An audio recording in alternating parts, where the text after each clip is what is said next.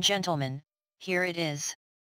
Races 1 through 6 from Laurel, all 10 from Gulfstream, all 10 from Keeneland including the Indian Summer presented by Keeneland Select, the Juddmonte Spinster and the Castle and Key Bourbon, the last two from Woodbine including the Cup and Saucer, races 7 through 10 from Hawthorne including the Hawthorne Derby, all 10 from the Great Race Place of Santa Anita including the Surfer Girl and the Zuma Beach, the last two from Fresno.